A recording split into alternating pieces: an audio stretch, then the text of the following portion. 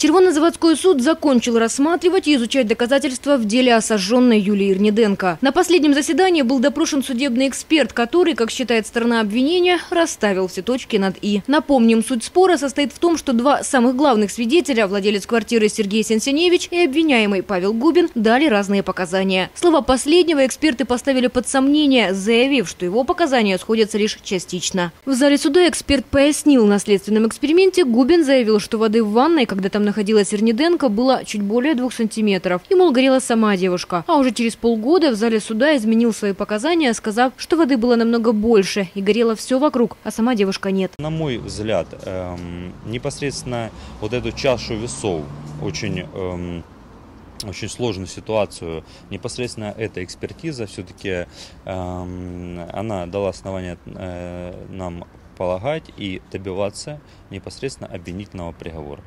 Интересно, но сторона защиты обвиняемого считает с точностью наоборот. Слова эксперта подтверждают невиновность Губина. Уверяют, готовы это доказать во время прений. Безусловно, готовы. Но что будем делать акцент?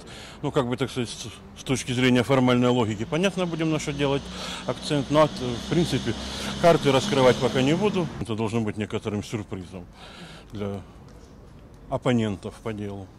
Несмотря на уверенность адвоката, мама подсудимого готова к любому решению суда. Женщина заверяет, в любом случае добьется оправдательного приговора для своего сына. Это будет апелляция, это будет касаться, это будет ЕСПЧ. Это будут все полностью судебные инстанции. И э, даже если у нас в стране я не добьюсь правды ни на апелляции, ни на кассацию, то на ЕСПЧ по вот этим материалам, которые сейчас есть, он будет оправдан априори. Свои последние доводы в защиту или оправдание Губина адвокаты выскажут во время следующего судебного заседания. Оно назначено на ближайшую пятницу. Ольга Калиниченко, Денис Вишневский, 057 ЮА.